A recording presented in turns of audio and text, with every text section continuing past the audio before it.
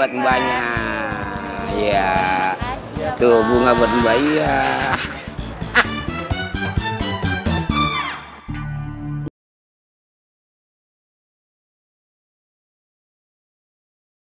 Maaf Bu, saya boleh nanya-nanya sebentar? Boleh? Kira-kira Ibu punya anak perempuan yang sudah nikah belum? Iya ada. Anak saya yang paling besar sudah menikah. Wah, kebetulan banget Bu. Jadi saya mau nanya gini nih Bu, kira-kira menantu idaman seorang ibu itu seperti apa ya? Assalamualaikum Ibu. Nah, ini nih menantu idaman seperti Dokter Jos. Dokter Jos sudah layak kok punya istri.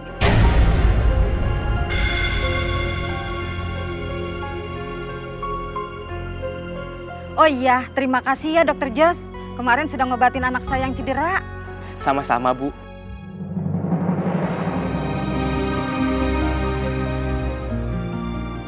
Kasihan Chandra. Tapi aku bangga banget sama semangatnya.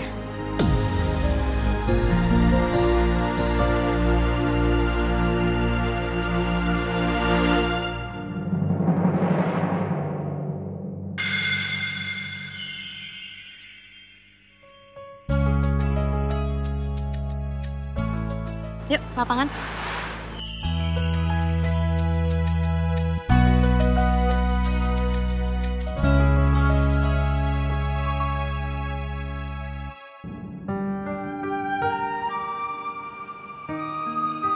Saya harus meninggalkan Kania ke Eropa.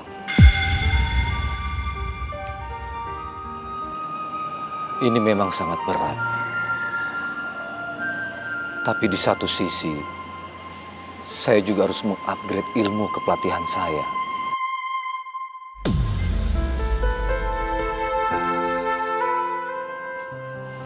Jadi, Kania? what did you say? Um, Jadi mau ke Eropa?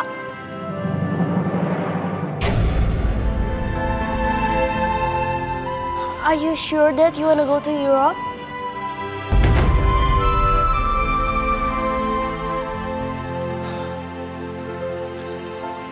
Kania, Dedi dapat tawaran untuk mengupgrade ilmu kepelatihan Dedi di sana.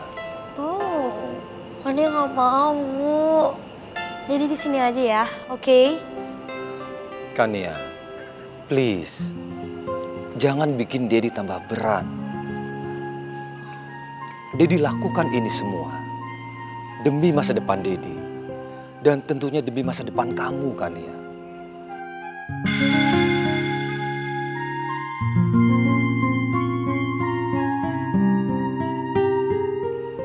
Dan juga masa depan anak-anak yang lain, khususnya masa depan Tuna Sakti.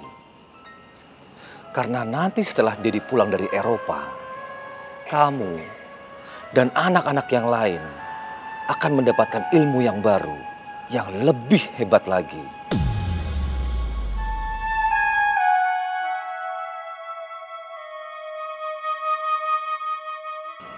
Trust me.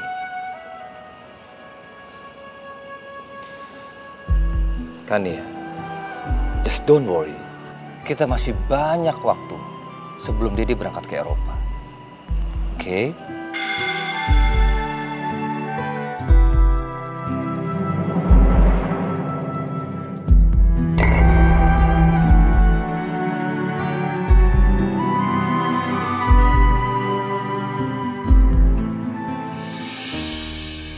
Alhamdulillah. Itu sekarang gampang minum obatnya.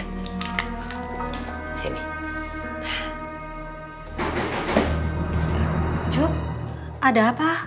Kamu kok kaget langsung berdiri? Itu teh ada yang ngetok-ngetok pintu, ngetok-ngetok. Ketok-ketok.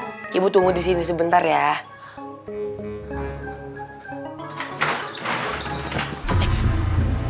Kak Jody, saya kira siapa? Job, gue sengaja ngejemput lu sini buat ke acara Tarkam sekarang juga.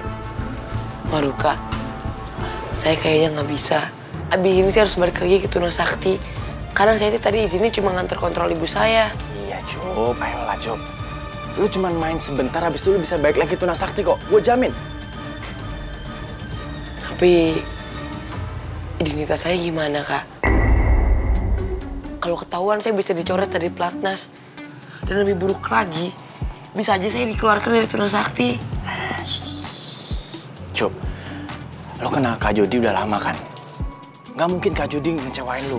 Kak Jody udah siapin gimana caranya supaya identitas lo itu gak ketahuan. Dan setelah itu, lo bisa balik lagi ke Tuna Sakti. Cup, lo udah dewasa, Cup. Gue berharap lo jangan sia-siain kesempatan ini, Cup. Ini hadiah lima kali lipat lebih besar dari sebelumnya. Dan uangnya lo bisa pakai buat perobatan ibu lo. Ayolah, Cup. Gue yakin, lo tahu mana yang terbaik buat lo dan buat ibu lo. Pertandingan selanjutnya adalah Anto Helm versus Jangkrik Boy. Aduh, mana sih Jody sama Yusuf? Kok nggak datang sih? ah? Jangkrik, gue. Lu pernah dengar kan? Ini pemain baru atau pemain lama ya? Nggak tahu, gue juga baru denger sih namanya.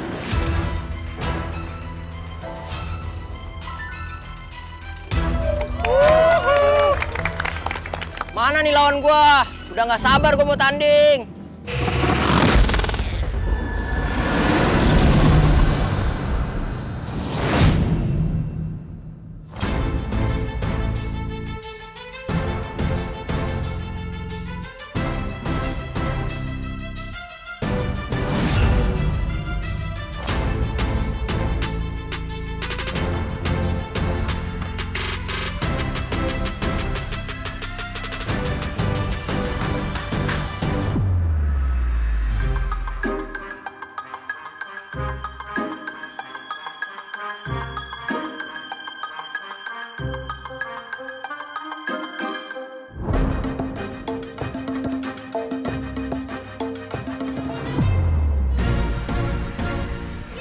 Lihat dari gayanya ini jangkrik boy kan ya?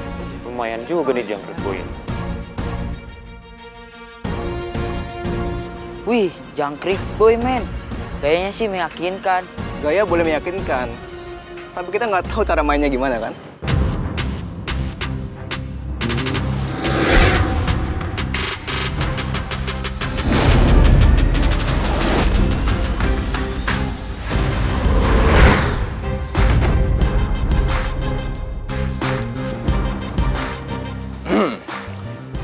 Lama banget sih, Jod. Udah, lu santai aja. Yang penting kan anaknya udah datang.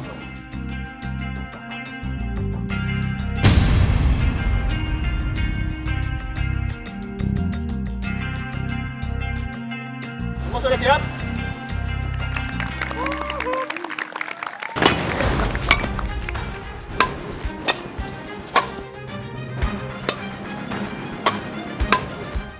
Dia bermain seperti pemain pro. Tekniknya pun rapi.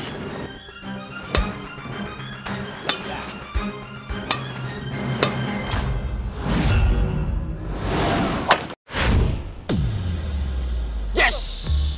Ayo JB, lakukan yang terbaik JB.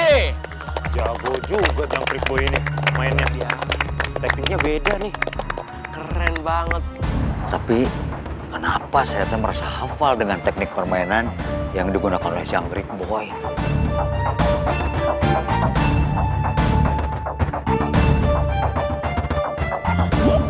Oke, Rani. Dia aja bisa lepas dari Bang Jaya. Kenapa kamu enggak? Ya tuh jangan disama-samain, Pak. Beda. Oke. Yaudah, Saya nggak mau ikut campur masalah rumah tangga kalian ya. Tapi yang saya ingin tekankan di sini, saya minta tolong sekali sama kamu, ya. Status kamu sebagai istrinya Bang Jaya jangan sampai bocor ke wartawan ataupun ke publik, oke? Iya, Pak.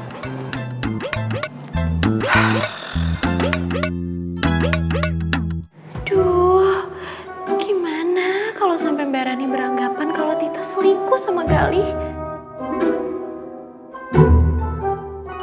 Eh, kamu mau pesan apa?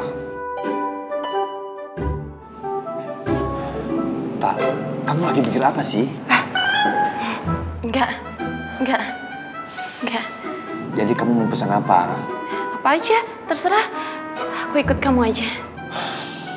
Ya udah mbak, ini pesan ini aja ya, dua. Baik, ditunggu ya kak. Ya, makasih.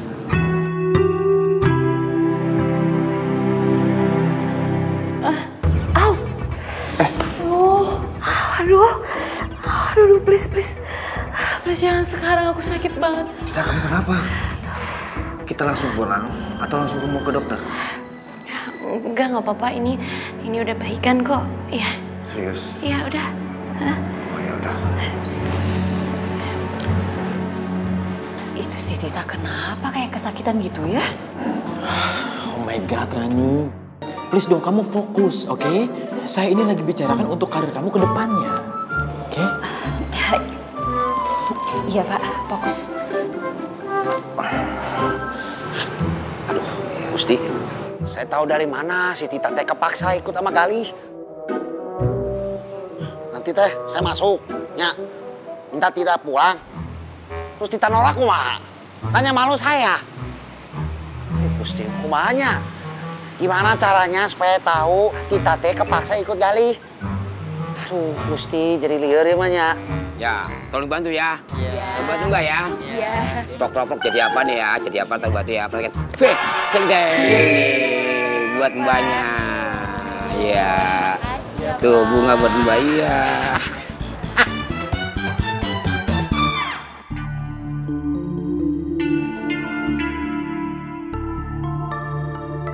Kenapa lu? Gue mau main, Cun. Tapi gak ada pasangannya. Udah, gue sama lu aja dah.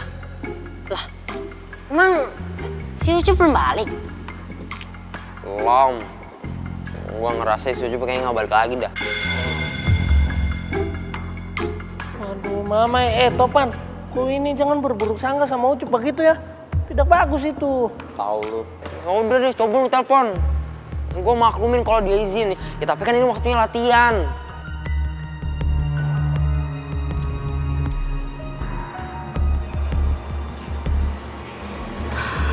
Chan, aku jadi bener-bener takut Ucup bakal tersingkir gara-gara dia sering keluar terus. Ya semoga aja enggak. Udah kamu nggak usah khawatir ya. Selamat malam semuanya.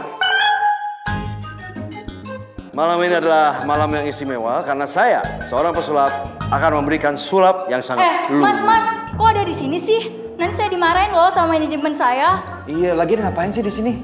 Ini tempat makan. Jangan sampai ganggu kita dong. Eh, Gali nggak apa-apa. Aku suka kok. Biarin aja. Kalau didengar pembicaraan tadi sih,